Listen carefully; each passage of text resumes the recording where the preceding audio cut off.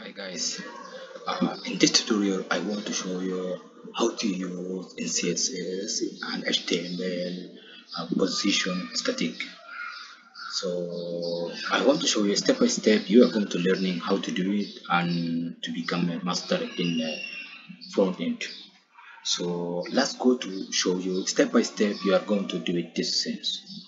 So this is amazing things this tutorial is for all for you guys for beginners even you are a professional so, to do these things it's amazing right? So this is for beginners and also for professionals because it's a good thing and to using front when you are become a master in a front end so everything be easy in the back end when you go to uh, create a big application right? So yeah that's good so here position statics and in a paragraph we have this one an element with position is that is not positioned in any especially uh, way. It is always uh, positioned according to the normal follow okay?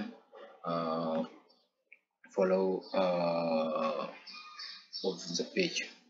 So and guys i have a div class study.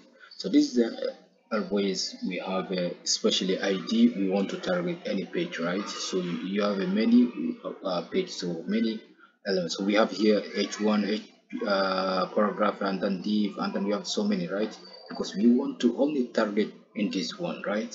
In this div because of that we using static this one we want to target to this element. Because we want to target this element right? So because of that we put this one. So when you go to css file okay so in css file we don't need okay. This one. We don't need this one okay. So we are going to create a, another called div dot star. Div right? Dot static let's give position position with the star G. and then we just give only border. Border. Border 3 3 pixel. Solid with yellow you want to say yellow yes yes yellow so only this one.